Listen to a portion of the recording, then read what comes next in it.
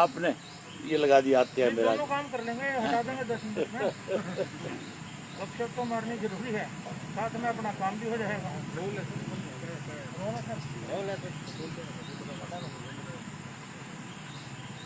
आज प्रदेश के जो हालात हैं ऐसे हालात किसी भी सरकार में नहीं इस देश में हमने इमरजेंसी देखी। और इस देश में हमने ऐसे ऐसे लोगों का राज देखा था।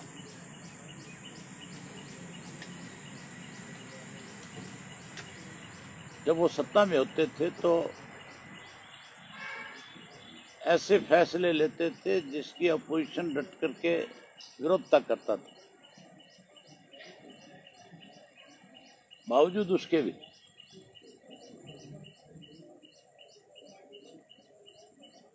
उन लोगों की अपनी एक पहचान थी। आज देश और प्रदेश के अंदर, आज यहाँ जो दिलबाग देश और प्रदेश के अंदर आज इस किस्म की सरकार है, जिससे हर व्यक्ति उब चुका है। आज कोई कानून व्यवस्था नहीं है। आज भ्रष्टाचार जो चरम सीमा के ऊपर है। आज हर वर्ग की अनदेखी हो रही है। आज कर्मचारी परेशान है, आज व्यापारी परेशान है। किसान तो पिछले छह महीने से लगातार इन तीन कृषि के काले कानूनों के खिलाफ अपनी लड़ाई लड़ रहा है। आज तो स्टूडेंट भी दुखी है। मजदूर जो है आज मजबूर होकर के पलायन कर रहा है, वापस जा रहा है। क्योंकि उसको ना तो इंडस्ट्री में जॉब ना सरकार से कहीं कोई उम्मीद बची, सरकार तो गरीब आदमी के साथ खिलवाड़ कर रही है। जब इनको ज़रूरत पड़ती है तो डीसी रेट के ऊपर अलग अलग डिपार्टमेंट में अलग अलग लोगों की भर्ती कर लेते हैं। और जैसे इनकी ज़रूरत पूरी हो जाती है, उन लोगों से रोज़गार छीन लेते हैं। आप किसी को एक महीना काम पे रख करके, बिना किसी नोटिस के अगर उसको निकालते हो तो फिर उसको नई जॉब ढूँढने में बहुत वक्त लगता है। उस दौरान उसको किन परिस्थितियों से गुजरना पड़ता है, ये वो व्यक्ति बता सकता है अपनी पीड़ा। आज तो मुख्यमंत्री जी का इतना अड़ियल रवैया है कि उनकी वजह से रोज प्रदेश में हालात खराब हो रहे हैं। आज सत्ता के अंदर जो लोग बैठे हैं, वो रोज़ाना कोरोना की महामारी को बढ़ावा दे रहे हैं, बजाय इस पर कंट्रोल करने की। अगर ये कंट्रोल करना चाहते हैं तो फिर ये कार्यक्रम नहीं बनाते। बड़ी हैरानी की बात है बीजेपी के, जेजेपी के विधायक जो है, हॉस्पिटलों में जाते हैं। और हॉस्पिटल में जाकर के जहाँ टीकाकरण होता है। वहाँ उद्घाटन करते हैं। आप किसी को वैक्सीन लगाने के लिए किसी स्टाफ की ड्यूटी लगा रहे हो, अगर वो वैक्सीन लेकर के किसी सेंटर पे पहुँचता है, और वहाँ बीजेपी का, जेजेपी का विधायक अगर चार घंटे लेट पहुंचेगा तो वैक्सीन खराब हो जाएगी कि नहीं हो जाएगी। उस वैक्सीन की वैल्यू खत्म हो जाती है। अगर उस वैक्सीन को किसी को लगा भी दोगे तो उसका कोई उसको फ़ायदा नहीं होगा। इसका मतलब सरकार सिर्फ़ और सिर्फ़ अखबार की सुर्खियों में बढ़ना चाहती है। केवल और केवल सरकार के फैसले लोगों को परेशान करने के लिए हैं।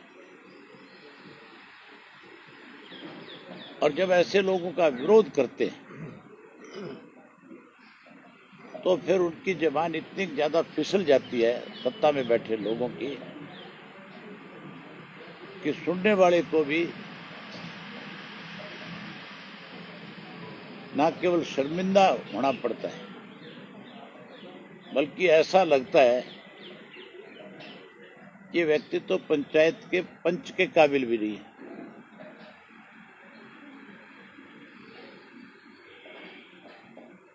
ये ठीक है, कई दफ़ा मनुष्य जो है, मजबूर हो जाता है कुछ सख्त भाषा बोलने मैं भी अनेक दफ़ा सख्ती से बात करता हूँ। लेकिन उस शक्ति का ये मतलब नहीं होना चाहिए कि आप अपनी मर्यादाओं को लान दें। मुझे भी कई दफ़ा बहुत सारे पत्रकार साथी जो है इस तरह का सवाल कर लेते हैं, जिसके दो अलग अलग पहलू बन जाते हैं, जिसके दो अर्थ निकाले जा सकते लेकिन अगर कोई मर्यादा भूलता है तो इसका मतलब वो उस पद के काबिल नहीं है।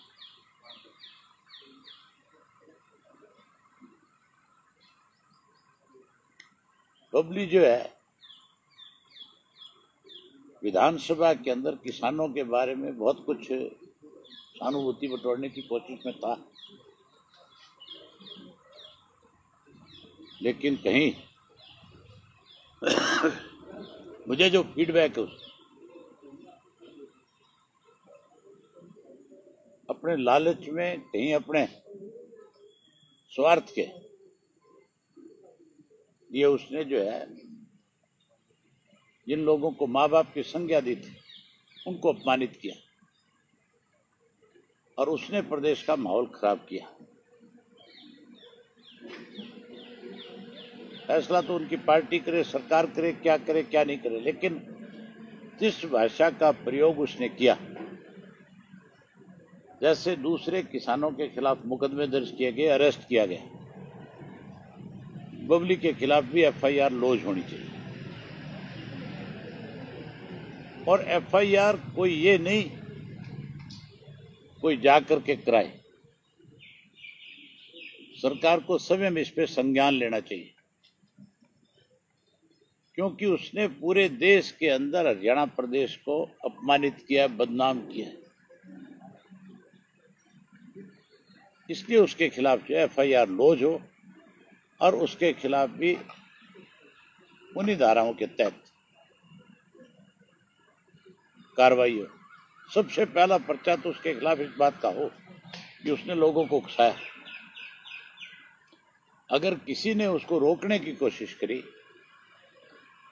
तो बजाय गाड़ी गलौच होने के, बजाय उस तरह की भाषा का प्रयोग करने के, रोक करके पूछता उनसे कि बताओ भी क्या चाहते हो मुझसे। मेरे उचाणा हल्का के प्रोग्राम थे, उदाहरण बताता हूँ और मैंने जैसे ही पहले दिन अपने प्रोग्राम स्टार्ट किए तो कुछ लोगों के पेट में दर्द हो गया। और उन्होंने अपनी पार्टी के कार्यकर्ताओं की जिम्मेवारी लगाई कि तुम जाओ जा करके अवय सिंह के खिलाफ प्रदर्शन करो, काले झंडे दिखाओ। मैं मोहनगढ़ गाँव से जब दूसरे गाँव जा रहा था तो दोनों गाँव के बीच में एक मोड़ था, सड़क का, वहाँ खड़े मिले मुझे दस बारह लड़के। उन्होंने काले झंडे ले रखे थे। मैंने गाड़ी रोक। ली मेरे बहुत साथियों ने कहा कि गाड़ी रोकने की ज़रूरत नहीं है बेवदे किस्म के लोग हैं। मैंने कहा, नहीं, हमें पूछना चाहिए कि क्यों खड़े और मैंने गाड़ी रोक करके जब उनसे पूछा तो उनके पास कोई जवाब नहीं था मेरी बात। आखिर मैंने उनसे ये भी कहा भी कोई बीजेपी का जेजेपी का कोई ऐसा लीडर आ रहा है जिसकी वजह से आज आप आक्रोशित हो, आज आप गुस्से में हो, आज आप कहीं उनके फैसलों के खिलाफ हो, अपना भड़ास निकाल रहे तो कहने लगे, जी, वो भी नहीं। तो फिर किस लिए आए हो? उनमें से एक व्यक्ति ने कहा कि जी, हमारी पंचायत का फैसला है। पंचायत के फैसले गाँव के बीच में होते हैं। अगर तुम्हारी पंचायत का फैसला हो, तेरे गाँव के अंदर जब आऊँ, तुम्हारे जब गाँव के चौगानवे लोगों से मिलूं, तब अपना फैसला सुना देना। पंचायत मुझे कहेगी, हमारे गाँव में ना तो नहीं आऊँगा। पंचायत अगर मेरा वेलकम करेगी तो फिर तेरा फैसला तो मिट्टी में मिल जाएगा। आखिर उन लोगों को जाना पड़ा। तो बबली को भी रोक करके पूछना चाहिए था भी आप मेरे प्रति क्यों नाराज़ हो? मैंने तो तुम्हारी बात विधानसभा में उठाई है। बजाय उसने ये बात पूछने के, उन लोगों को कहीं भड़काने के काम किया। और उसकी उन गाली गलौज से इस तरह का माहौल बन सकता था। कि टोहाना में कितना ही बड़ा किसी का भी नुकसान हो सकता है। ये तो मैं बधाई देता हूँ उन किसानों को जिन्होंने एक जगह इकट्ठे होकर के, संगठित होकर के उसका विरोध किया और विरोध करके उन्होंने कहा कि भाई, वो माफ़ी मांग ले, हम सारी बात खत्म कर देंगे। नहीं माफ़ी मांगे तो सरकार उसके खिलाफ एफ़ आई आर लॉन्च करे। अब सरकार को एफ़ आई आर लॉन्च करनी चाहिए और जिस एक्ट के तहत उनके खिलाफ कार्रवाई हो रही है, उसी के तहत इनके खिलाफ भी कार्रवाई होनी चाहिए। ये सब जो हो रहा है आज इस सब के पीछे आरएसएस का हाथ है। आरएसएस ने हमेशा कैसे प्रदेश में, देश में इस किस्म का माहौल बने, जिससे समाज के लोग आपस में बटे ये समाज को बांटने वाले लोग हैं। अगर ऐसे लोगों के हाथ में लंबे समय तक सत्ता इस देश की, प्रदेश की रहेगी तो ये मान के चलो कि हम देश के अंदर अपने आप को असुरक्षित महसूस करेंगे। हर वर्ग का, हर समाज का व्यक्ति जो है, उसमें भय का माहौल पैदा करने की कोशिश में है।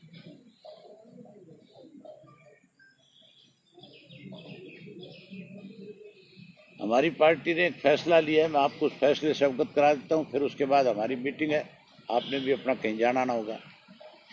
कल पाँच जून है, और कल क्रांति दिवस है। कांग्रेस पार्टी ने जब इस देश के अंदर इमरजेंसी लगाई थी, उससे पहले जयप्रकाश नारायण जी की नेतृत्व में इस देश में सरकार के खिलाफ एक आंदोलन शुरू हुआ था। आरक्षण को लेकर के शुरू हुआ था। आज कृषि के काले कानूनों को लेकर के आंदोलन चल रहा है। वो आंदोलन भी पाँच जून को क्रांति दिवस के रूप में शुरू हुआ। और ये भी जो है किसानों का जो आंदोलन है। इसको एक वर्ष हो गया, इस पाँच तारीख को केंद्र की सरकार ने ये तीन कृषि के काले कानून बनाने के लिए अपनी तरफ़ से एक नोटिफिकेशन निकाला था। इसलिए हमारी पार्टी ने फैसला किया कि हम इसको कल विरोध करेंगे। हमारे हर डिस्ट्रिक्ट हेडक्वार्टर के ऊपर ये जो काले कानून का जो प्रतियाँ जो है, वहाँ उनको जलाएँगे और इसका डट करके हम विरोध करेंगे। हमारा ये विरोध तब तक जारी रहेगा जब तक ये तीनों काले कानून वापस नहीं हो जाए।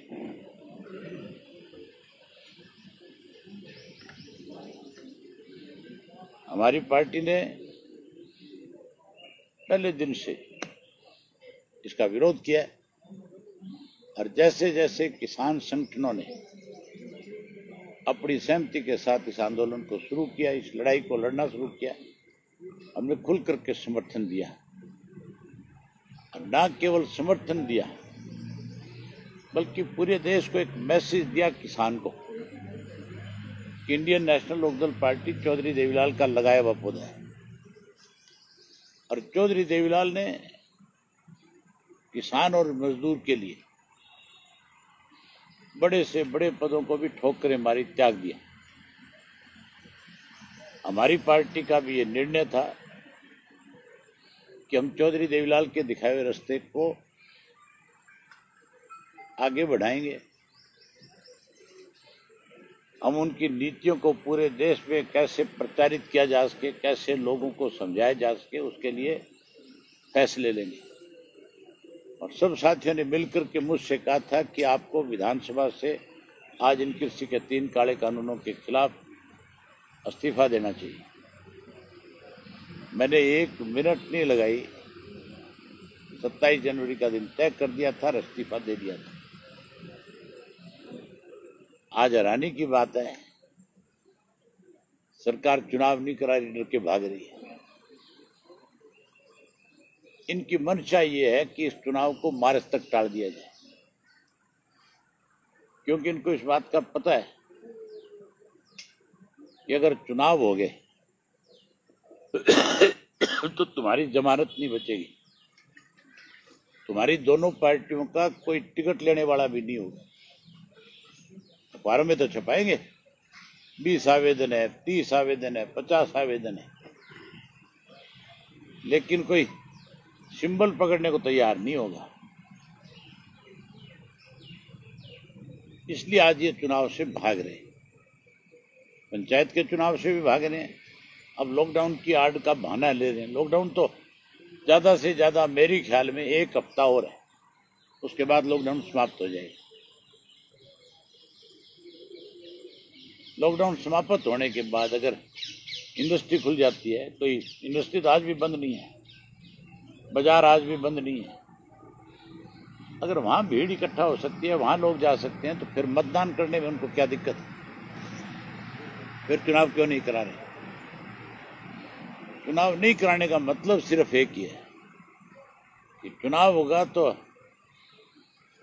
जब इनकी जमानत जपत हो जाएगी, जब इनकी कोई टिकट नहीं लेगा तो फिर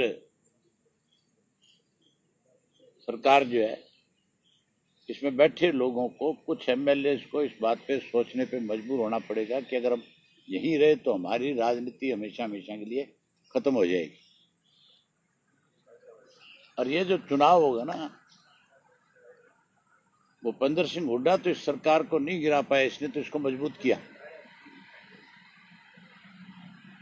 लेकिन मैं एक बात कह सकता हूँ, सरकार गिरा तो नहीं सकूँगा, लेकिन सरकार की टूड़े ज़रूर हिला दूँगा। इस चुनाव से पहले चुनाव के बाद ऐसे झटके दूँगा इनको कि आप लोग अपनी कलम से सभी में लिखोगे और बताओगे लोगों को कि अभय सिंह ने हमें चुनाव से, चुनाव की तारीख तय होने से पहले ये बात कही थी कि मैं इनकी चूड़े ज़रूर हिलाऊँगा ऐसे हालात पैदा कर दूँगा कि हर आदमी ये कहेगा क्या सरकार कुछ स्वार्थी लोगों की वजह से चल रही है।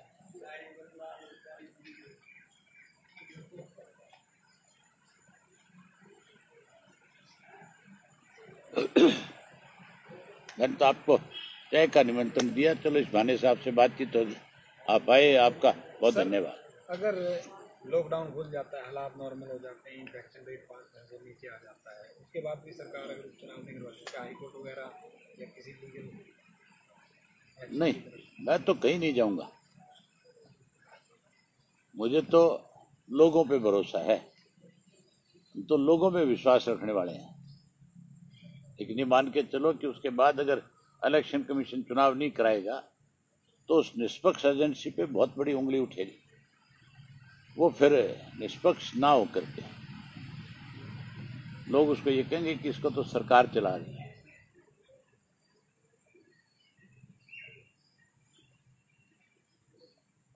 एक सर आ, सरकार ने सरसों के तेल की खरीद सरसों की खरीद जो है वो नहीं की। अब जो है पीडीएस में नहीं दे रही है सरकार जो है वो सरसों का तेल किस तरीके से मैंने अखबार में पढ़ी थी कि सरसों के तेल की खरीद बंद कर दी।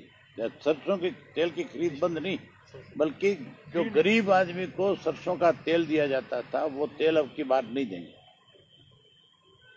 सरकार का काम होता है जनहित में काम करना। सरकार का काम होता है सब्सिडी पे लोगों की मदद करना।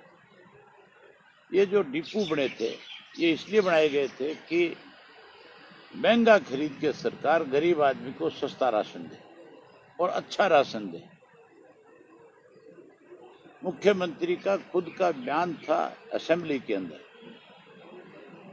कि हम सरसों का एक एक दाना खरीदेंगे। ये इस साल के नहीं कह रहा मैं, इससे पिछले साल। और सरसों का तेल निकालेंगे। हर गरीब आदमी को सरकार की तरफ़ से सरसों का तेल सस्ते में मुहैया कराएँगे।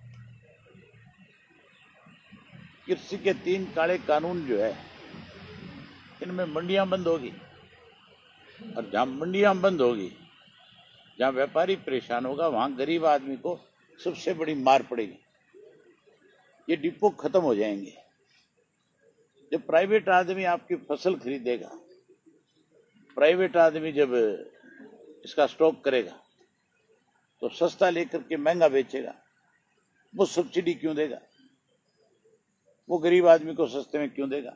वो तो गरीब का खून चूसेगा। ये जो सरकार का निर्णय है, ये मैं तभी तो कह रहा था, अभी हमने मुगलों का राज सुना पड़ा लेकिन इन्होंने तो मुगलों को भी भुला दिया। ये एक ऐसा राज है, जिसमें किसी की कोई सुनवाई नहीं है।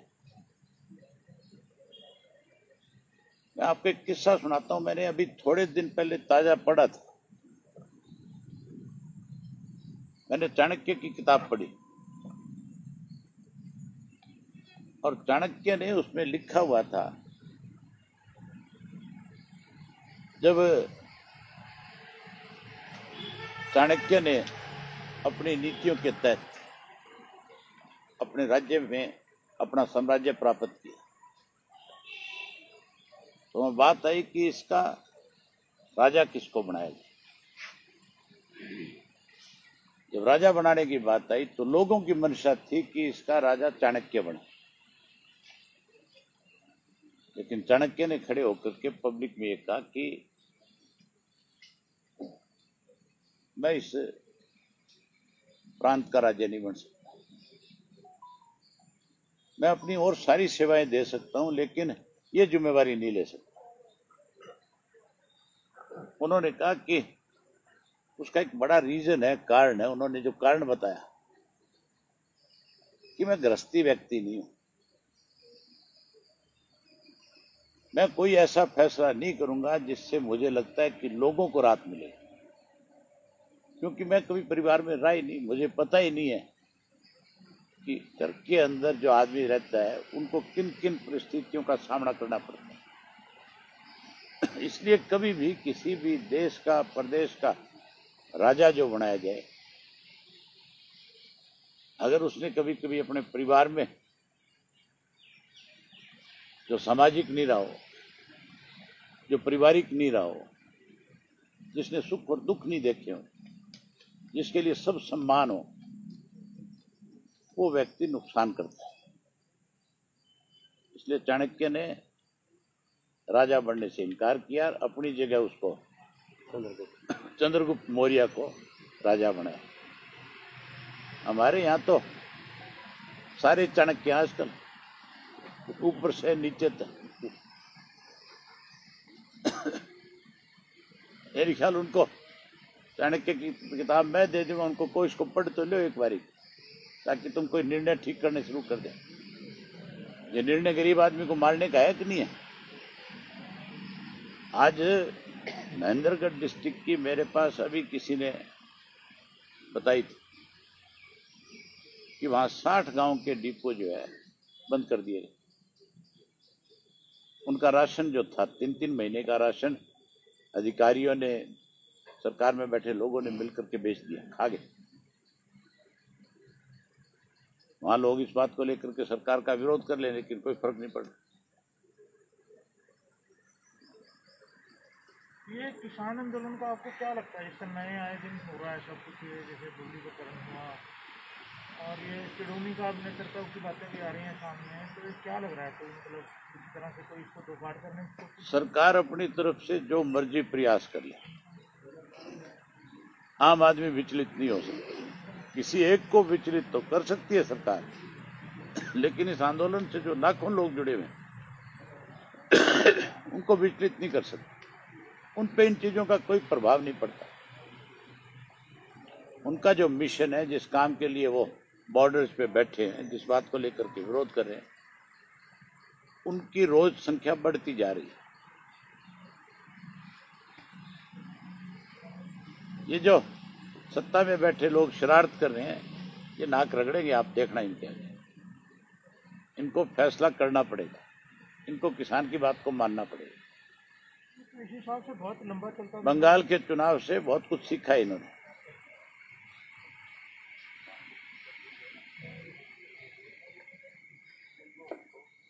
ऐसे फैसले दो चार और ले ले देश के प्रधानमंत्री। तो फिर मुझे लगता है कि इस बीजेपी को जितनी ताकत के साथ देश का प्रधानमंत्री लेकर के आया था उससे भी बड़ी ताकत के साथ इसका सत्यानाश करेगा। ये आप तो देहात में इन दिनों में घूमे हो कोरोना की क्या स्थिति है? मतलब बहुत बुरा हाल है। जो आंकड़े दिखाए जा रहे हैं आज वो सारी चीज़ों को छुपाने का काम कर रहे हैं। हमारे यहाँ कहते हैं कि साढ़े आठ हज़ार के करीब लोग मरे हैं। आज भी मैं सरसा का पढ़ रहा था सात सौ कुछ केस बता रहे किसी भी गाँव में जाकर के सौ लोगों का टेस्ट करो आज। सौ में से पिचासी लोग कोरोना पीड़ित हैं। तो आंकड़े छुपाए जा रहे हैं कि नहीं छुपाए जा रहे मेरे गाँव के अंदर कोई दिन ऐसा नहीं है जिस दिन कोरोना से एक दो एक दो लोग अपनी जान ना गंवा रहे सैकड़ों लोग मर गए अब से पहले। दो बात है सर। मैंने ना आरटीआई में मांग रखा है। असलियत तो छुप नहीं सकती मैं आपके सामने दो चार पाँच दिन में आ जाएगी। पिछले दो महीने में कितनी डेथ हुई आजकल डेथ सर्टिफिकेट हर आदमी लेता है। और मैंने वो डेथ के कितने डेथ सर्टिफिकेट जारी हुए इन दो महीनों में इस प्रदेश के अंदर है। उनकी सूची मांगी है। कितने दिन नहीं देंगे? आखिर देनी पड़ेगी। पर जो लोग और उसमें उसमें ये भी पूछा है पर्टिकुलर कि कोरोना से कितने लोग मरे? कोरोना की बीमारी की वजह से कितने लोगों को अपनी जान गंवानी पड़ी? तो सरकार की पोल तो उसी टाइम खुल जाएगी। इन्होंने तो एक झूठ को छुपाने के लिए सौ झूठ बोलते हैं। लुटेरों की, झूठों की, और ऐसे लोगों की सरकार है जिसने इस प्रदेश का भट्टा बिठा दिया। लोग गाँव में कोरोना का टेस्ट तो नहीं करवा रहे आरटीपीसीआर कौन कहता नहीं करा सब गलत बात है। सारी बातें ये कह करके पर्दा डाली जा रही है। कोई व्यक्ति आज की डेट में ऐसा नहीं है जो कोई वैक्सीन कराने से कहीं ये कह रहा हो कि भी मैं नहीं कराऊँगा। आज हर आदमी वैक्सीन कराना चाहता है। ये ठीक है, कुछ गाँव के निर्णय ऐसे क्यों लेने पड़े उनको? उसकी एक मजबूरी थी कि प्रधानमंत्री, मुख्यमंत्री अगर लॉकडाउन तोड़ता है तो फिर उनके ऊपर किस चीज़ के कानून है? आपने खबर नहीं पड़ी मिनिस्टर का बयान आता है कंवरपाल का, जो शिक्षा मंत्री है हमारा। वो कहते हैं, मंत्रियों पे धारा एक लागू नहीं होती। तो फिर आप क्या उम्मीद करोगे कि ये सरकार कैसे चल रही है? धारा 144 अगर कहीं किसी स्टेट में या पर्टिकुलर किसी इलाके में रहती है तो उसमें प्राइम मिनिस्टर भी नहीं जा सकता। वो भी उसका उल्लंघन नहीं कर सकता। सबके लिए एक है। वो मजिस्ट्रेट का आदेश है, उसमें सरकार का कोई आदेश नहीं होता। वो जो ड्यूटी मजिस्ट्रेट है, जिसने वो आदेश जारी किया है, उसको कोई चैलेंज नहीं है। जो आदेश देता है वही वापस ले सकता है, दूसरा नहीं कर सकता उसको। इनको यही पता नहीं है बेचारों को आज तक। पाँच साल स्पीकर रहा, अब दो साल से मंत्री है। उसको ये जानकारी नहीं अब तक है। मुझे हैरानी होती है जब इस तरह के लोग बयान देते हैं ना। तो मुझे नहीं, मेरे ख्याल सबको हैरानी होनी चाहिए आपको। डीएम के खिलाफ होनी चाहिए सख्त कार्रवाई इलाके में। अगर वो कार्रवाई नहीं करता डी सी की मीटिंग होगी सर। अगर वो कार्रवाई नहीं करता तो उसके आदेशों की उल्लंघना उसको करनी चाहिए कार्रवाई। मैंने आपसे बताया नहीं आंधा पिसर कुत्ते खावे।